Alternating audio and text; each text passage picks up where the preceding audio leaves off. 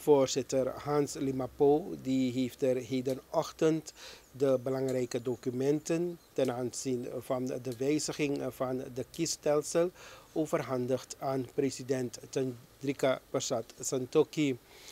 Al geruime tijd wordt er heel veel discussies gevoerd voor wat betreft de wijziging van de kiesstelsel.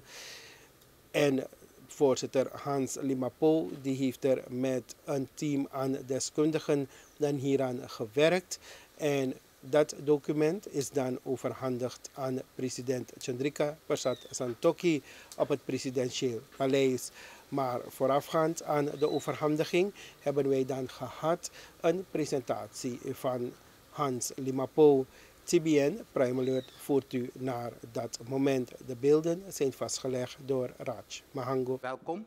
En ik moet zeggen dat ik me ontzettend vereerd voel dat ik deze bijdrage aan de ontwikkeling van ons land kan geven. We hebben toen we ingesteld werden, hebben we gekozen om door het leven te gaan als studiegroep. En dat hebben we niet zomaar gedaan, daar hebben we goed over nagedacht. Omdat we vonden dat dit karwei aangepakt moest worden op basis van beginselen en niet op basis van opportuniteit. Er zijn twee manieren hoe je zo'n probleem kan benaderen, dacht ik. Eén is door te luisteren wat mensen denken en dan een compromis te vinden in de hoop dat dat zal werken.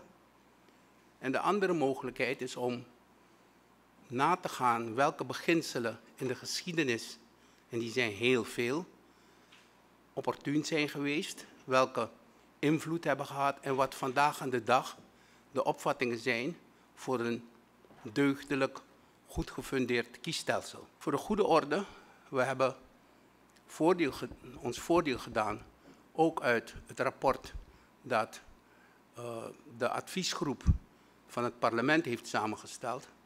En ik vind het belangrijk om te zeggen dat, dat die adviesgroep van het begin af zegt dat ze niet de principles-based approach, maar de meer de consensus-driven approach hebben ge, ge, ge, genomen.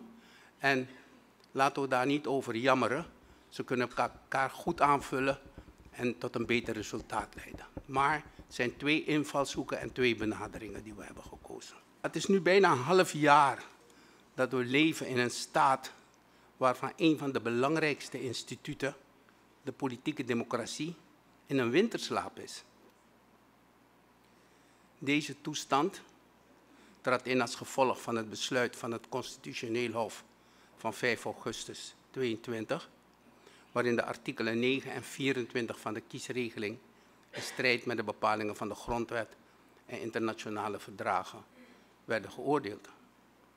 Deze bepalingen hebben kort gezegd betrekking op de waarborging van gelijkheid in het kader van de verlening en uitoefening van stemrecht. Dus de issue, de grote issue, is de, is de waarborging van gelijkheid in het kader van de verlening en uitoefening van stemrecht. Dat is de grote issue. Klinkt simpel, maar ik heb drie kinderen. Ik hou van alle drie evenveel. Ze hebben alle drie evenveel rechten.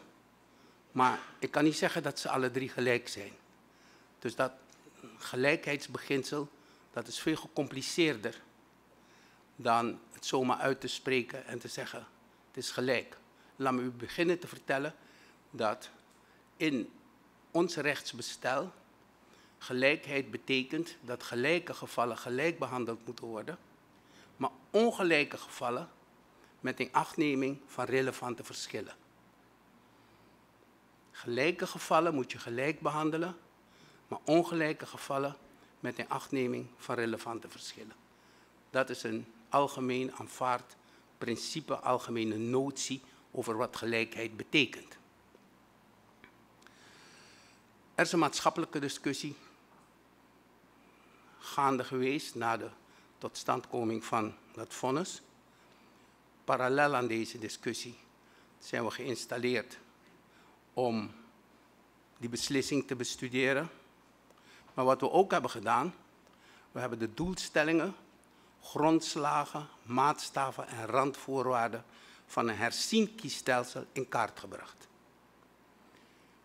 We hebben de, en dat ga ik u vertellen, zodat u daar rustig kunt kijken of u daarmee één de doelstellingen, de grondslagen, de maatstaven en randvoorwaarden voor een herzien kiesstelsel. Dus we zijn er niet van uitgegaan dat we ons moeten laten dicteren wat actuele politici op dit moment denken, maar dat we moeten dieper moeten duiken en ons afvragen wat de grondslagen, maatstaven en randvoorwaarden voor een nieuw kiesstelsel moeten zijn. Laten we beginnen te zeggen dat het besluit van het Constitutioneel Hof zijn gezag ontleent aan artikel 144 van de Grondwet. Dat maakt dat het besluit bindend is voor de rechtsorde en leidend voor wat betreft zijn betekenis en gevolgen. Ik zal u niet bekennen hoeveel keer ik dat vonnis gelezen heb. Omdat dat uiteindelijk in deze exercitie bijna een soort bijbelse tekst was. Maar u weet dat de teksten in de Bijbel, degene van u die gelovig zijn, niet altijd eenduidig zijn. Dat ze soms met elkaar in conflict zijn. En als ik zeg dat het bijna een bijbelse tekst was, dan weet u welke gevoelens ik heb moeten koesteren toen ik het voor de 23ste keer las. Maar het besluit is bindend en het is leidend voor wat betreft de betekenis en gevolgen van dat besluit.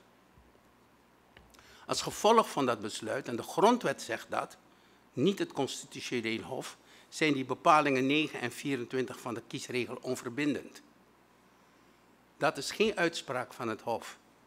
Dat is de grondwet zegt, als het hof strijdigheid constateert, dan zijn die bepalingen onverbindend. En ik solliciteer niet naar een nieuwe opdracht, maar ik kan u vertellen dat is een hele verstrekkend gevolg van een beslissing. Dat je zegt, jij mag die beslissing geven, maar die gevolgen die zijn extreem en die zijn reeds in de grondwet vastgelegd. En, en dit is een zaak die waarschijnlijk in de toekomst, wanneer we gaan praten over het constitutioneel hof weer opnieuw en zijn bevoegdheden, een vraag zal zijn, moet je inderdaad aan die strijdigheid onvoorwaardelijke onverbindendheid koppelen? Of moet je de vrijheid laten aan het constitutioneel hof om te zeggen, die onverbindendheid gaat over een jaar in, om je een, een jaar de gelegenheid te geven.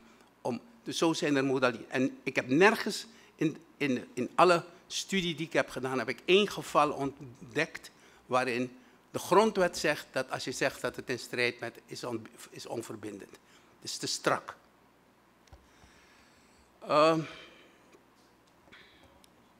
gevolg hiervan is dat de grondwettelijke aanspraak van burgers op uitoefening van het kiesrecht, zoals voorzien in artikel 56 van de grondwet, niet kan worden waargemaakt. Een van mijn basisgrondrechten die ik heb in een democratische rechtsstaat is te kunnen kiezen. En dat kan ik nu niet.